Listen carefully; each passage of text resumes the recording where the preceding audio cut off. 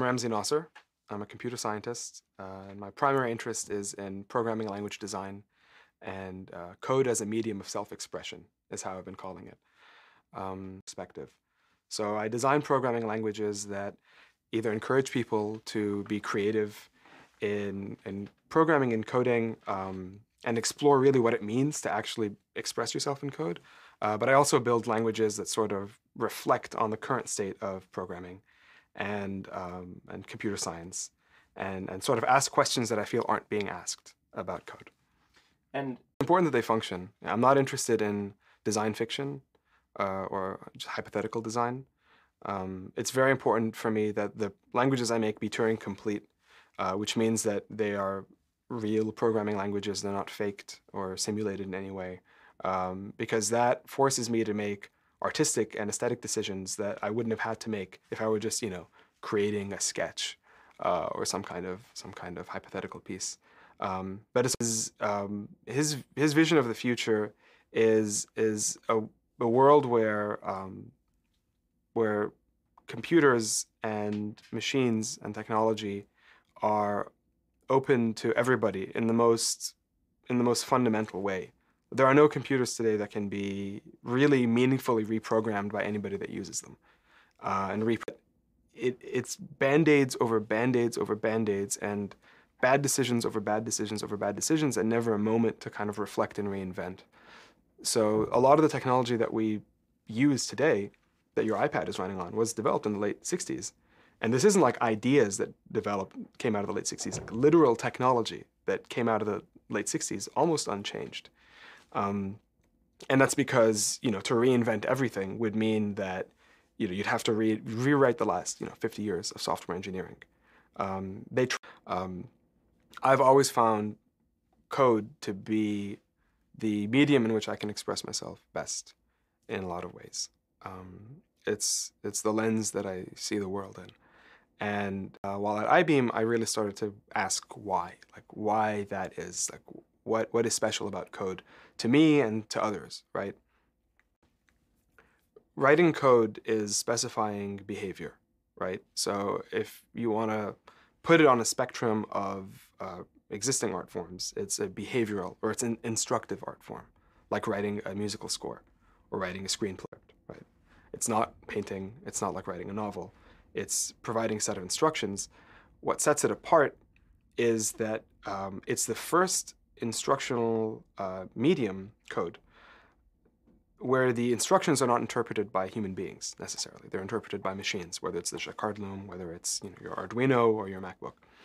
Um, that's what makes it unique. And what, what's unique about the fact that a human being does not need to interpret your code means that your instructions, which is your art, which is your ideas, can live and run independently of human intervention. That's never happened. It won't change. And I always feel like when I develop like a, video games, um, whenever someone is playing one of my video games, that's a little piece of my imagination that's just springing to life and just running, you know? Um, um, or, you know, code that I have running in the cloud on servers. That's just, those are ideas, those are things that kept me up at night, wondering, thinking, structures that I would assemble, you know, to solve problems that are just living. Not on, you know, text on page, but actually moving and manipulating memory and moving data around independently of me. Um, um, and if I were to die, my running code would carry on little bits of me, I feel, you know, after my death. So that, so that's what it means, I think, conceptually to me, to like to express yourself through code, is to be able to build a set of instructions to specify a behavior that can live and run independently of any any human being. But also, how about a code? One of the effects that code has on your imagination and your thinking is a, sort of a filter of ambiguity you'll, you'll come to code with this sort of vague idea of what you want to do, but then when you want to instruct a machine on how to do it, you have to basically squeeze almost all the ambiguity out of it and specify exactly what it is that has to happen. And that's where a lot of people struggle, I feel, with, with uh, I mean, a computer can do 4 billion calculations a second at, at this point.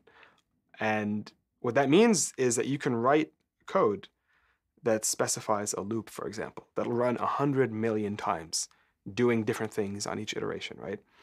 And as a programmer, you can look at those three lines of code and see 100 million iterations into the future and understand what that means in a single glance. And that, as a Edgar Dijkstra, uh, the seminal computer scientist, in his Turing uh, acceptance lecture, said that programming has allowed human beings to think thoughts previously unthinkable. And, and that's the kind of thought that I think he was referring to, is being able to see into this, you know, impossibly deep iteration and really profoundly understand what what it's doing in aggregate and you know at each iteration. Hmm.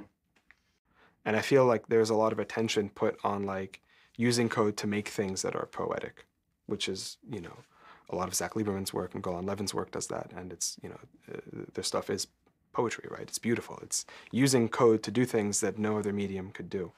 Um, but the poetics of code that I'm personally more interested in are the poetics of you know the actual instructions that go into these pieces the um, the the the programming right of of these pieces and the languages that they're written in, um, and that can be poetic and beautiful. Uh, and I find there's a you can tell something about the person who wrote the code, the state of mind that they were in, whether they were in a rush, whether they were frustrated with the project, by reading their code and not even running it. You know, so there's a um, the performance is one thing, but there's a beauty to the score itself, right? That if you understand how to read that music on its own, is it's absolutely beautiful. Hmm.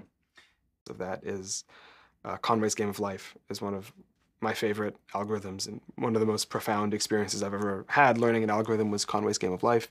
Uh, and there's an incredible implementation of Conway's Game of Life in a programming language called APL, which is uh, a programming language based on symbols, not on text. It's expressed in a single line of code. This is a non-trivial, fairly large algorithm uh, that simulates uh, an infinitely changing world. And they were able to bring it down to a single line of just APL. And that is, there's a beauty to that. You know, you just look at it and everything is there. It'll take you hours to read and to parse and understand exactly what's happening, but it's all there. Uh, but I definitely, uh, even the term readable is a, is a problematic term. You know, readable to who? Uh, and so in terms of naming variables or like what do the actual programming languages look like, um, they're all, you know, written in American English. Um, so to create basically what, what's called a, a class in some programming languages, you type the letters C, L, A, S, S, right? Um, to name your variables, you know, if, if you're naming the speed of a player, for example, if you're making a video game, you'd call it player speed, P-L-A-Y-E-R.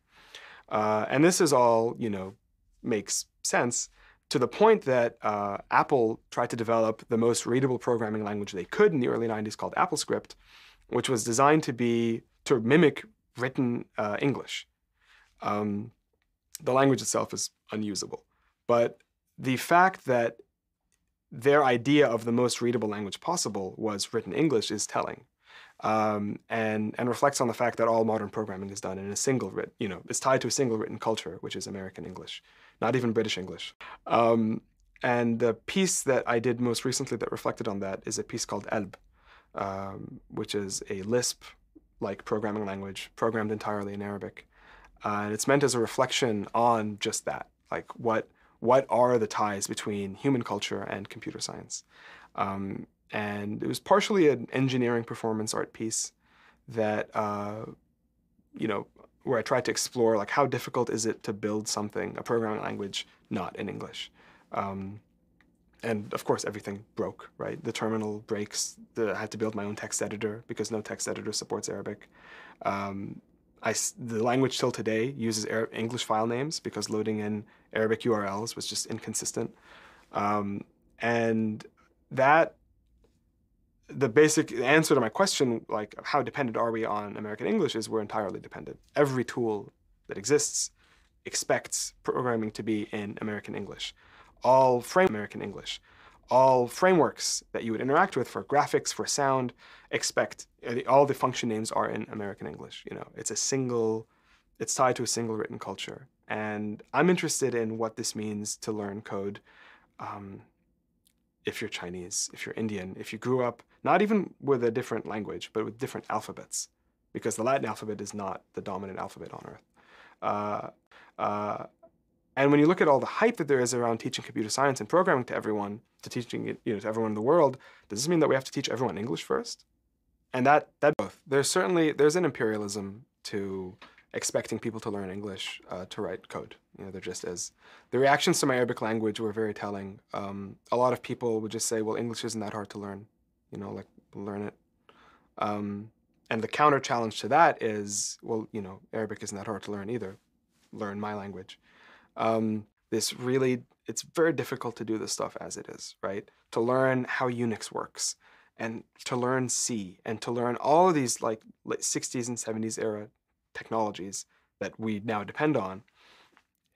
And I feel like there's a tendency to to learn that and then just sit on it. And and and and just feel that I made it this far. I now understand these things. I can manipulate the world in this way. And stop and not reflect on like, well, how can I open this up to everybody else? Is this everybody else? Is this actually the right way to be doing things, right? Is Unix the best way to organize a, you know, computer? It's not. Spoiler alert. Um, is is you, you get people who become sort of enamored with the traditions and the the paths that that they've that they've taken to get to where they are, and expect everybody else to just learn the way that they did, right? Um, that's that's where I find myself sort of not in dialogue with software engineering as I've experienced it. There's much Arab Arab traditional Arab art is uh, fascinates me because in a lot of ways I feel like that it's a triumph of the human creative spirit. Um, so under the Islamic empires, it was generally taboo. Representational drawing was generally made taboo. And in earlier sort of Arab art, uh, you will find representational paintings and and mosaic work, um, but that drops off very quickly. Uh, and the the reaction to that wasn't a death of creative expression at all. It just moved somewhere else. And instead of painting people, it became calligraphy and it became geometry. So the sort of where math finds its place in Arab culture is these incredibly ornate geometric designs that decorate the in, in, insides of and outsides of buildings. Um, and when you read about how they were made, they were assembled by generally, you know, skilled craftsmen, but they were designed by artists as algorithms. So the instructions to the craftsman would be place these black place this black tile, then a red tile to the side, and then turn it around, place a black tile here, and then like you know long tile there, and it's just instructions, right? Again, instructive art form. Um, and obviously the Arab, the Islamic and Arab empires had, you know, major contributions to math and science that we still we still benefit from today. Like you said, algorithm comes from al khawarizmi. It's an Arabic Arabic word. Um, sort of, you can get into these really profound philosophical conversations with computer scientists about, you know, what is computation? Does nature compute? You know, uh, um, the fact that the inside of a of a shell is can you know come out to be the the perfect golden ratio, the golden rectangle. The, you know, the spiral comes out perfectly. Like that is a form of computation, arguably. Um, the the orbits of the planets are a form of computation. You know, so depending on how far out into the deep end you want to get, you know, everything can be computation. Um, I think again, looking at computation as just as an instructive art form, I think a lot of what um, a lot of the work that Fluxus did in the '60s with their um, you know disassemble a flute, reassemble a flute uh, pieces um, is definitely a kind of computerless computation. I feel computerless code, um, and I felt uh, you know screenplays uh, are also a form of, of computation without computers. Uh, you know before all this stuff. Uh, what is it? A computer is a machine that can interpret and execute instructions independently of human intervention. That intervention, but like a contract is is you know a set of rules that you have to that you have to live by, right? Law is a set of rules that you have to live by. If you do this, then this happens. When you do this, then that happens, right? And that, that society is almost computing those rules, you know, by the way that we interact. Like, why don't I throw trash on the street? When you look at traffic, why aren't cars driving all over the place? Like people stay within painted lanes like that. There's obviously you know an element of safety and self-preservation, but people follow rules, right? Um, and you end up with this sort of social machine of people interacting and like moving in and out, uh, and and that's that's certainly a form of computation. You know, Com- computation doesn't need computers at all. Computers are just um, computers were originally built to do math, right? Before computers as we know them, what a computer was was a human being who was really good at math that would get fed, you know, do this, and they would do it out by hand, and you know they'd provide the results. Um, and I feel computers. Uh, computation exists. Computation is the the execution and the interpretation of rules, uh, and computers are just one way to do that. Yeah, we. Well, even when you look at DNA, I mean, it's literally a it's a base four code, like it's a computer is just a base two binary code, right?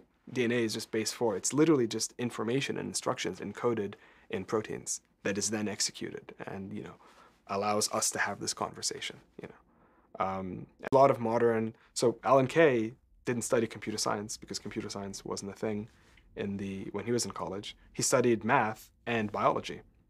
So he has a you know his background is I think in molecular bio- biology, and he modeled object-oriented programming and Smalltalk around cellular communication. And his problem is that things were meant to fit together like gears, right?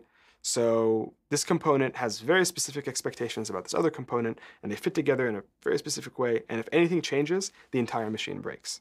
This is the world that we still live in. Alan Kay's vision, which is a biological vision, is you have these independent units that are just exchanging messages, right? And if one unit goes down, then I mean the system doesn't go down. Things can adapt and things can move. This is how the internet is built. That's why the internet is internet is built. That's why the internet is as robust and as resilient as, as it is, because it makes no assumptions about the things that are around it, and it's just exchanging these messages and kind of reacting to change that way.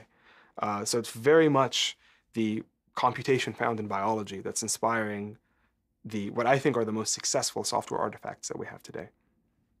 Future proof. I mean, we think about the internet, uh, this is a system that was designed in the late 60s um, that could not have at all have predicted the way it's being used today, right? And it has continued to run unmodified and without serious this is it's an example of technology from the late 60s that is not you know being band-aided over and over it just it works right it's built as a stack, right? We build on on the upper the upper levels, uh, in the application layer uh, to follow that model. Um, but it, it, functions, and that's because it made no assumptions about how it would be used or what it would be used for. So we were able to add Wi-Fi to technology that was built before you know um, before the laptop, before the personal computer. It's it's mind blowing. The fact that it's mind blowing the fact that your your iPhone seamlessly integrates with this ancient technology, you know, no no real problems, is is astounding, and that's because it works on this sort of biological model. So that's that's I mean, my personal perspective is the kind of distributed message passing paradigm is the right way to build things, and that's in a lot of my work is sort of what I'm exploring and what I'm interested in. So we yeah we are in many ways surrendering our our lives to algorithms. Um, the most obvious example is you know the financial sector that um, that allows algorithms to make trading decisions on a you know sub-second level, um, decisions that the people who are running them do not understand. This is the key point that's alarming, right? Is um, you can't understand a machine or an algorithm that is running that fast, that is making that, you know, making decisions based on that vast quantity of information. This isn't like the three-line for loop that I described, where you can kind of look at it and, and understand it, it's doing its own thing at this point. And we've given our economy to this math that we only have a tangential understanding of. And that's alarming. Um, alarming. Um, we also, you know, via dating sites, we have algorithms decide who we court and who we sleep with. I mean, and as as passionate as I am about algorithms and computation, I mean, I find that alarming and problematic. That's not there's there's a there's a humanity that we need to retain. You know, I don't, you know, I don't. My ideal vision of the future is not one where we've surrendered everything to algorithms, right? Um, it's one where we develop a healthy relationship with with computation and code, um, in a way that can make our lives, you know, better, but not one where we blindly surrender everything to code, which code that is obfuscated, proprietary, and run by corporations. I mean, program her iPhone. I mean, you can't you can't truly own something until you can re repurpose it that way. Um, so surrendering ourselves to algorithms uh, without fully understanding them is problematic. Surrendering ourselves to algorithms that are owned and manipulated by corporations with particular, uh, you know, interests in, in their on their bottom line is is alarming. And I Google frustrates me. Um, and Google has fallen very far, I think, from its um, from where it was a decade ago. Um, I think Google Glass is technically interesting, maybe, but um, to me, it represents uh, an encroachment of the algorithm on on human relationships and human interactions, and not a healthy enhancement of it. Um, yeah, I disagree with Google's vision of, of the future. Um, Google's Google's operating policy is to collect data about people and sell it. Mean, that's just that's not a that's not an accu- that's not an accusation. That's just their business model, right? Um, model, right? Um, I don't. I my ide- my ideal view of the future is not one where software is controlled by corporations. My ideal view of the future is where software is flat and accessible to all and mani- manipulatable by all. And the, the devices that we use are not locked down and are not obfuscated and are hackable by default um, and, and um, repurposable by default, right? Nothing Google is building is like that. Nothing Apple is building is like that. Nothing that they're planning on and more importantly, nothing that is in their interest to build is like that. That that kind of a future is not going to come from a startup, from a corporation. It's going to come from um, you know hackers and activists, people building tools for other people to use. Um, so um, even like emoji on the iPhone, right? People are very excited that they, they can now express themselves um, through like pictographically through these more refined um, emoticons, and it's cool. But the question that I ask is, how do I make my own emoji? I can't.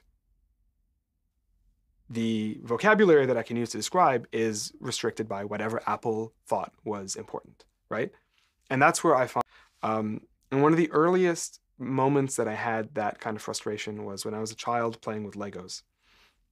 And I loved my Legos, right? Again, a story any creative person will tell you, not special. But um, the earlier sets of Legos that I played with came almost exclusively with bricks.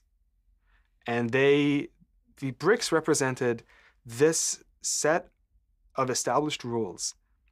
Few pegs, they fit together, different sizes. They're all, you know, the peg is the unit. Is it like two by one? Is it, you know, you know, five by five?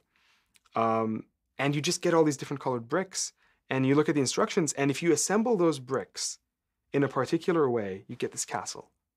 And that's that was incredible to me. I felt I felt on parity with the Lego company. Because like when I build stuff, I'm just using bricks, right? And when they're building stuff, they're just using bricks too. So it's flat. I can do anything they can do. Do anything they can do. Down the line, Lego sets got more and more complex, more and more complicated. And I remember this one piece I bought the submarine set, and I don't know why this one piece like this just lives with me.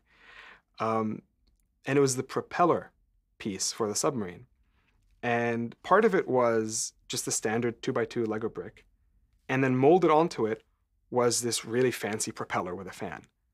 And I remember looking at that piece and seeing the propeller part and thinking, I could not have done that. There's no amount, this is outside of the rules of Lego. And it's a cool piece, and now I can have a propeller and it's a propeller. But I'm no longer on parity with the Lego company. They clearly have injection molding machines, right? That I don't have. And that's just like, I can't create my own emoji. There are things on, I, many things on iOS Apple can do that I cannot do. And the same on my laptop and the same on every piece of technology.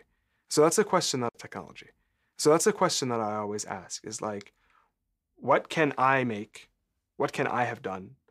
What could I have done? And what can the author or the creators of the system do? And am I on parity with them or not? And I try and build systems where everybody, makers, users, and everybody is on, is on the same level. And that's kind of my vision of a technological future, is that kind of a flat relationship. Uh, and it's not where we are and it's not where we're headed, unfortunately.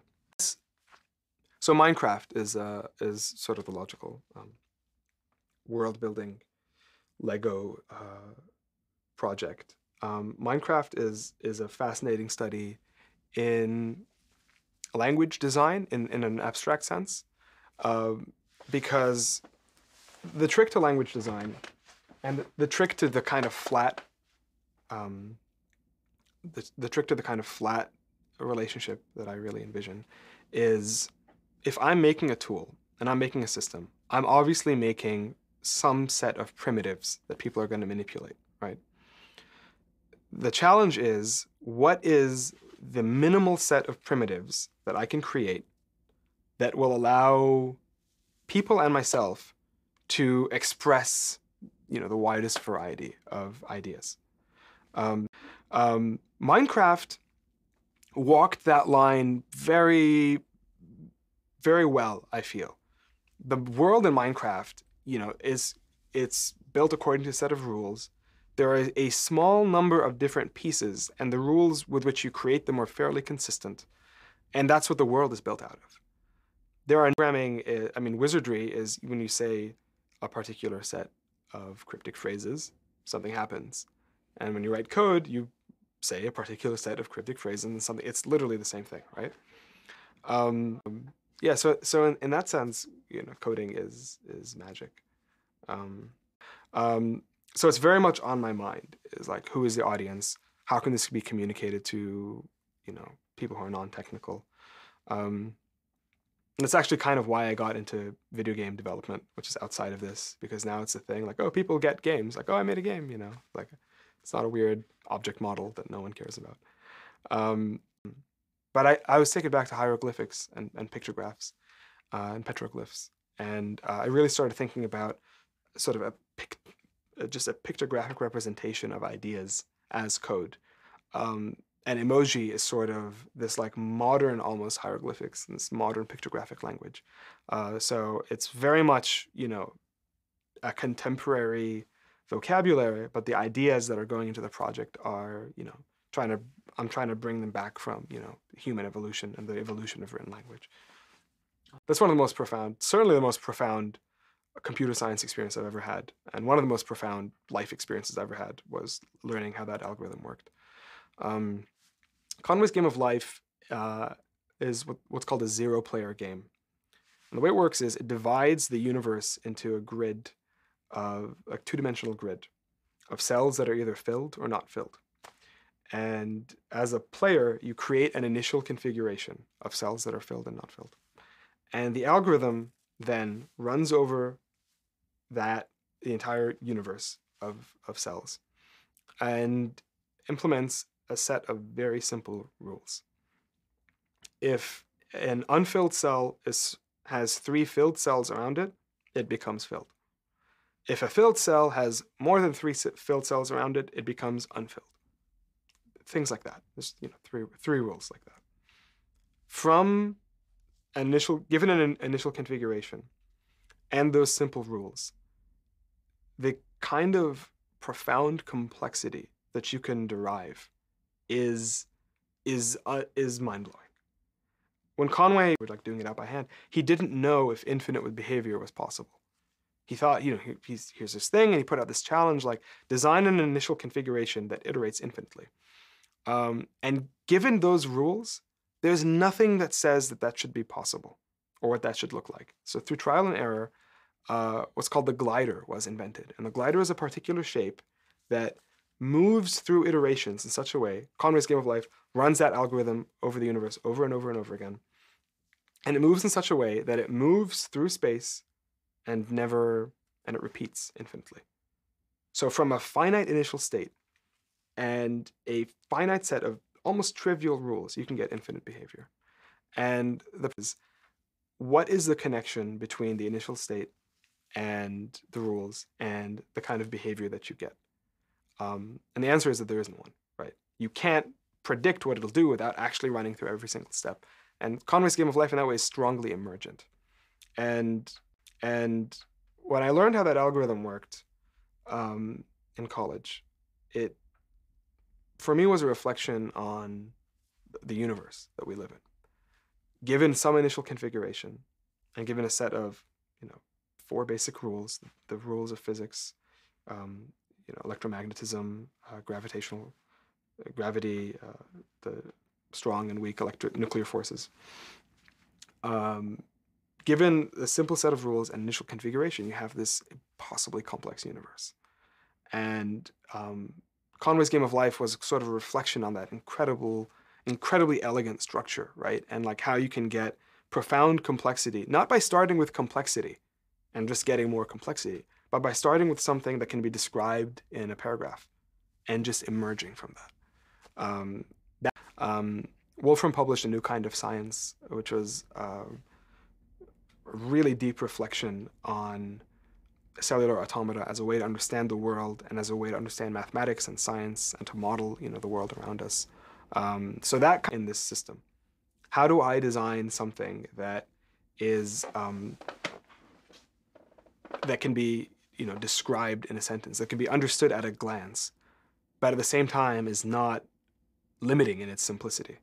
So to give you an example um, c++ as a programming language is not simple it is, um, I think the, the rules for calling a function um, on an instance in the spec are, you know, three or four pages long because of it, right? Uh, C++, for all of its issues, is what Clouds is built in. Uh, it's what, there's actually an adorable uh, page on Stroustrup's personal website where it's just like, oh, this is my personal site. And it's like, uh, there's a link to like projects and you click on it. One of those projects is C++ and you click on it. And there's a list of like things made in C++ because it's just this thing I made. And the list is like Windows, everything Adobe has ever made, most of Mac OS. And it's like, oh, wow, you, okay, you architected the modern world. So um, the, if, you, uh, if you're just coding in an average fashion, you will tend towards unmaintainable and broken code you really have to go out of your way to write um, maintainable, readable, sustainable code. Um, is C++ is almost like a trapeze artist that's blindfolded. The trapeze artist memorizes the the routine and where everything is perfectly, and then just puts on a blindfold and then just jumps. And everything has to be exactly where it was, otherwise the trapeze artist will fall and die. A more dynamic language like JavaScript or Ruby are like trapeze artists with their eye with the blindfold off, where you're kind of watching before you do everything and you have to check. So when you send an object uh, a message in Ruby, it will actually check, does this message actually exist? And if it does exist, it'll run it. If it doesn't exist, then it'll, you know, it has other things that'll follow. Whereas in C++, if, if it doesn't exist, it just crashes. You know, it is. You know, it's like literally jumping in and out of memory, just calling things, writing to things. Everything has to be laid out correctly Otherwise, you know, this is the program crashes. That's what a segmentation fault is, for example. Um, Which is interesting. Game game development is, in a lot of ways, one of the most challenging things I think you can do in writing code. Um, um, Java was originally built to designed to program set-top boxes. Um, C++ was originally designed for system tools. C was originally designed for Unix. It was like a one-off that we now, you know, land airplanes with. Um, so I'm I'm really I'm aware of like you know any any author of a software system brings biases to the system that they built, and I'm aware of my own biases, and games is one of them.